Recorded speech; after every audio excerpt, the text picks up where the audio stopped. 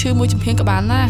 បូដេនមិចបំបត្តិឈឺមួយចំហៀងក្បាលយ៉ាងមានប្រសិទ្ធភាពឈឺក្បាលនិងឈឺមួយចំហៀងក្បាលបណ្ដាលមកពីរោគប្រកាំងខ្ញុំទុកចិត្តតែប៉ដេនមិចប៉លប៉លប៉លប៉ដេនមិចបំបត្តិឈឺក្បាលរោគប្រកាំងឆាប់រហ័សនិងប្រសិទ្ធភាពខ្ពស់បកក្រាបជនជាតិចិនជាច្រើនអ្នកតាមដីការបស់សមត្ថកិច្ចចិន នៅឯខណ្ឌបឹងកេងកងបាទឥឡូវបឹងកេងកងគឺមានខណ្ឌមួយអូ បាទស្មើសកាត់ទឹកបាទបឹងសខណ្ឌទេបាទហ្នឹងហើយអូអឺតាមពិតថ្មីអឺបង្កើតខណ្ឌថ្មីគឺខណ្ឌបឹងកេងកងខណ្ឌបឹងកេងកងបាទហ្នឹងហើយអញ្ចឹងពេលខ្លះអឺសាធារណជនគាត់អត់អត់បានតាមដានព័ត៌មានអឺគាត់ស្មានតែសង្កាត់បឹងកេងកងបាទតាមពិតខណ្ឌបឹងកេងកងវាបំបែកចេញពីខណ្ឌចកាមនបាទហ្នឹងហើយអញ្ចឹងអឺកម្លាំងសមត្ថកិច្ចចម្រុះនៃអគ្គស្នងការដ្ឋាននគរបាលជាតិបានចុះបង្ក្រាបនិងឡោមព័ទ្ធអគារ អផាតមិនចំនួន2ទីតាំងផ្សេងគ្នា ហើយខាត់ខ្លួនបានជនជាតិចិនជាច្រើនអ្នកកាលពីថ្ងៃអឺកាលពីវេលាម៉ោង3រសៀលថ្ងៃអឺទី29ខែវិច្ឆិកាឆ្នាំ2019នៅចំណុចអគារអផាតមិនលេខ194ផ្លូវលេខ430សង្កាត់ទំនប់ទឹកខណ្ឌបឹងកេងកងហើយមួយកន្លែងទៀតគឺស្ថិតនៅសង្កាត់ទួលស្វាយព្រៃទី1ខណ្ឌបឹងកេងកងដែរ ប្រភពព័ត៌មានពីសមត្ថកិច្ចបានដឹងថាការបង្ក្រាបនេះសមត្ថកិច្ចចម្រុះបាទគឺមានអគ្គស្នងការដ្ឋាននគរបាលជាតិមានកម្លាំងអាជ្ញាធរមូលដ្ឋានកម្លាំងប្រឆាំងបទល្មើសបច្ចេកវិទ្យានិងការឡៃកណ្ដាលសន្តិសុខបាទបានសហការគ្នាជាច្រើនជាពិសេសសហការជាមួយនឹងអឺកងកម្លាំងអឺជនជាតិចិនផងអឺកងកម្លាំងនគរបាលចិនបាទហើយក្រុមសមត្ថកិច្ចបានឃាត់ខ្លួនជនជាតិចិន10នាក់និងដកហូតកុំព្យូទ័របានជាច្រើនគ្រឿងនៅសង្កាត់ទំនប់ទឹកខណ្ឌបឹងកេងកង ចំណែកឯនៅអឺសង្កាត់អឺស្វាយព្រៃ2ខណ្ឌបឹងកេងកងគឺឃាត់ខ្លួនបានជនជាតិចិនជាច្រើនអ្នកបន្ថែមទៀតហើយក្នុងការចុះបង្ក្រាបនេះគឺមានដីកាចាប់ខ្លួនរបស់នគរបាលចិនបាទបាទហើយអឺបើតាមប្រភពព័ត៌មានពីនគរបាលយើងបានលួចបង្ហើបថា ការចាប់ខ្លួនអឺជនជាតិចិនទាំងអស់នេះគឺអឺពួកគាត់បានទៅចម្រិតទារប្រាក់គេតាមប្រព័ន្ធអ៊ីនធឺណិតបាទ បាទអញ្ចឹងហើយបានមានដីកាពីប្រទេសចិនមកគឺថាមកចាប់ដោយថាដឹងថាពួកគាត់មករស់នៅមកលាក់ខ្លួននៅក្នុងប្រទេសកម្ពុជាយើង បាទអញ្ចឹងហើយដោយសារយើងមានការសហការល្អឥឡូវចាប់បានពួកគាត់អស់ហើយហើយហើយនៅថ្ងៃខាងមុខនឹងបញ្ជូនគាត់ទៅកាន់ប្រទេសដើមរបស់គាត់វិញ បាទមិនធម្មតាទេបាទគឺយុទ្ធនាការបង្ក្រាបនេះគឺមានកិច្ចសហការពីសមត្ថកិច្ចចិនតែម្ដងបាទហើយមានទាំងសមត្ថកិច្ចចិននឹងចូលរួមនៅក្នុងប្រតិបត្តិការចាប់បង្ក្រាបជនជាតិចិនដែលអឺត្រូវបានចោទថាអឺជាពួកពួកជនជំរិតតាមអ៊ីនធឺណិតបាទហើយករណីជំរិតតាមអ៊ីនធឺណិតនេះគឺកើតឡើងច្រើនហើយកន្លងមកដែលសមត្ថកិច្ចបង្ក្រាបនិងចាប់បានបាទជាហូរហែ យើងឃើញថាអឺមានការជំរិតតាមប្រព័ន្ធអ៊ីនធឺណិតហ្នឹងគឺជំរិតយកលុយតែម្ដងបាទគឺលុយអឺរបស់ជនរងគ្រោះជាច្រើនដែលមានទាំងជនជាតិចិនខ្លួនឯងនិងជនជាតិដតីទៀតបាទដែលត្រូវបានក្រមអឺចាប់ជំរិតចិននេះគឺប្រើនៅប្រព័ន្ធបច្ចេកវិទ្យាតាមរយៈការអឺ ឆ្លោយឆ្លងជាសារក៏ដូចជាជាសំឡេងដោយប្រើប្រាស់នៅអ៊ីនធឺណិតនិងកុំព្យូទ័របាទដើម្បីជំរិតយកលុយប៉ុន្តែយ៉ាងណាក៏ដោយយើងក៏មិនបានយល់ច្បាស់ស៊ីជម្រៅអំពីលក្ខណៈនៃការជំរិតរបស់ក្រុមទាំងអស់នេះទេ បាទគឺគ្រាន់តែយើងយល់ថាពួកអស់នេះគឺប្រើនៅបច្ចេកវិទ្យាបាទក្នុងការជំរិតទារប្រាក់ពីអ្នកមានបាទពួកវាជំរិតនេះគឺជំរិតតែ តកែតកែគ្នាអឺចិនជនជាតិចិនដូចគ្នាទេបាទជួនកាលទៅមានជនជាតិម៉ាឡេស៊ីឬសិង្ហបុរីដែរដែលក្រុមអឺចិននេះបានជំរិតទារប្រាក់នោះបាទហើយអឺលុយរាប់ម៉ឺនរាប់លានដុល្លារបាទដែលត្រូវបានអឺជំរិតយកហើយពួកក្រុមនេះគឺជាមុខរបរតែម្ដងយកទៅស៊ីចាយសបាយហឺហាបាទបងប្អូនយើងឃើញហើយថារាល់ថ្ងៃបាទជនជាតិចិនគាត់សបាយស៊ីចាយណាស់បាទផឹក ស៊ីសបាយពេញតែប្រទេសប៉ុន្តែយើងមិនបានដឹងថាជនជាតិចិនទាំងអស់នោះបាទមកប្រកបរបរសុចរិតឬទុច្ចរិតនោះទេបាទអញ្ចឹងយ៉ាងណាក៏ដោយសូមឲ្យប្រជាពលរដ្ឋខ្មែរយើងលោកមេត្តាប្រុងប្រយ័ត្នបាទចំពោះការអឺធ្វើការនៅតាមស្ថាប័នដែលមានតកែដែលមានក្រុមហ៊ុនជាចិននេះបាទសូមប្រយ័ត្នពីព្រោះកន្លែងធ្វើការមួយចំនួនគឺ ជាកន្លែងដែលខុសច្បាប់ទេបាទហើយប្រសិនបើបងប្អូនយើងបានដឹងថាមាន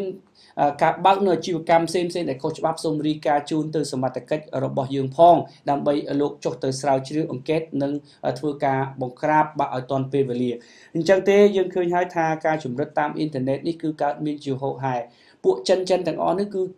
គេប្រព្រឹត្តជាក្រុមបាទមានទាំងស្រីមានទាំងប្រុសហើយគេជួផ្ទះធំធំបាទជួនកាលផ្ទះវិឡាមួយដាច់ដោយឡែក បាទជួនកាលធ្វើអាផាតមិនមួយយ៉ាងធំដែលចំណាយលុយរាប់ពាន់ដុល្លារក្នុងមួយខែសម្រាប់ជួលហើយនឹងរៀបចំប្រតិបត្តិការនៅក្នុងការងារ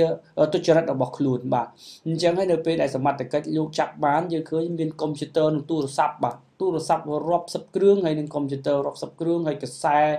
បណ្ដាញអ៊ីនធឺណិតនោះគឺខ្វែងខ្វាត់ពេញតែបន្ទុកវានឹងតែមកបាទហើយពួកវានេះពេលខ្លះអត់ដេកទេឬក៏ដាក់វេនវាដេក អញ្ចឹងវាជាប្រព័ន្ធ system មួយដែលយើងពិបាកយល់ថាយើងពិបាកយល់តតែសមត្ថកិច្ចជាពិសេសគឺខាងយុគឋានបច្ចេកវិទ្យាបាទក្រាបបនមួយបច្ចេកវិទ្យាលោកយល់ច្បាស់ថាគេធ្វើដោយរបៀបណាអញ្ចឹងករណីនេះគឺដោយសារតែមានជនជាតិចិននៅឯប្រទេសចិនបាទគឺទទួលរងគ្រោះហើយក៏ដូចជាមានជនជាតិចិនដែលត្រូវបានជំរិត តាមអ៊ីនធឺណិតនឹងនៅស្រុកខ្មែររីកាជូនទៅសមត្ថកិច្ចបាទសមត្ថកិច្ចចិនដែលសមត្ថកិច្ចចិនត្រូវសហការជាមួយនឹងកងកម្លាំងសមត្ថកិច្ចរបស់កម្ពុជាចាប់បង្ក្រាបជនទាំងអស់នេះតែម្ដងបាទ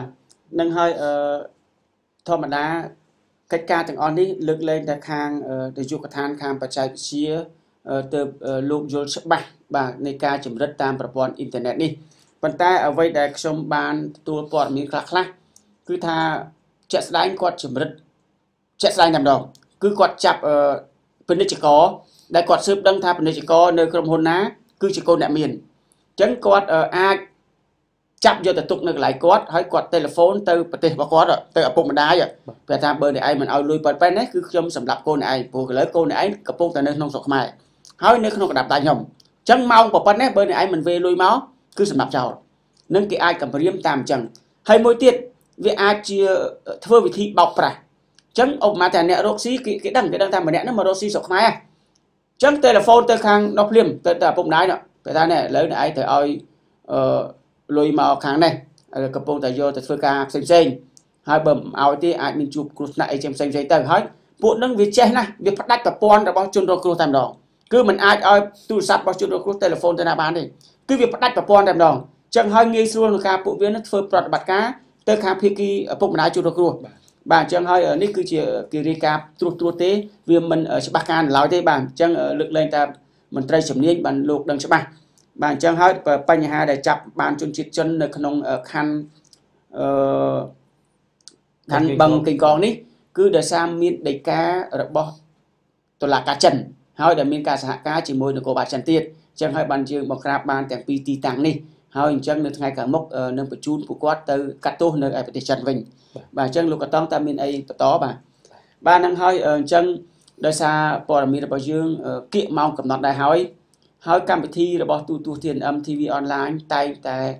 ជម្រាបជូនហើយនឹងផ្ដាំផ្ញើឬក៏ដូចជាสนពរ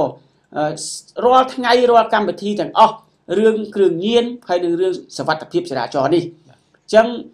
សូមឲ្យអ្នកបើកបរទាំងអស់មេត្តាមុននឹងចេញដំណើរដែលមានរថយន្តគឺត្រូវដើរកលឹងឲ្យជុំវិញរថយន្តរបស់យើងមួយជុំមើលកង់មើលហ្វ្រាំង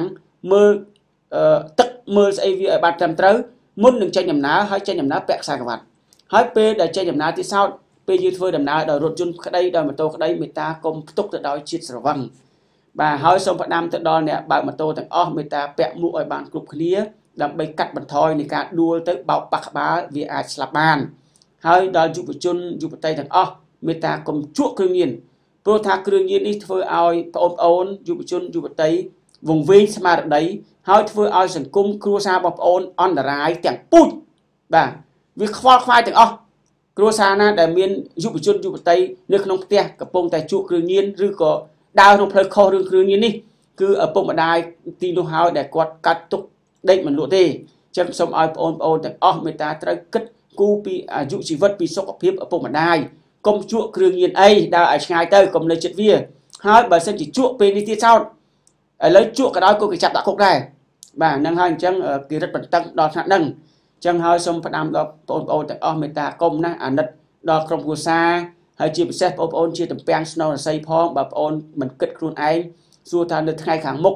យើងមានតំពាំងស្នូលអាស័យណាទៅសម្រាប់អភិវឌ្ឍប្រទេសជាតិរបស់យើង ចឹងប្រទេសជាតិពឹងផ្អែកលើបងប្អូនទាំងអស់ហ្នឹងហើយចឹងបងប្អូនឈប់ទៅបាទនឹងហើយក្នុងកម្មវិធីទូទូ TNM មានតែប៉ុណ្្នឹងទេដែលជាសំណពរចុងក្រោយនៃព័ត៌មានទាំងអស់គ្រប់កម្មវិធីបាទអញ្ចឹងខ្ញុំបាទម៉ាន់ជាតារួមនឹងលោកយុគកតង់ព្រមទាំងសហការីសូមលំអរកាយសូមគោរពលា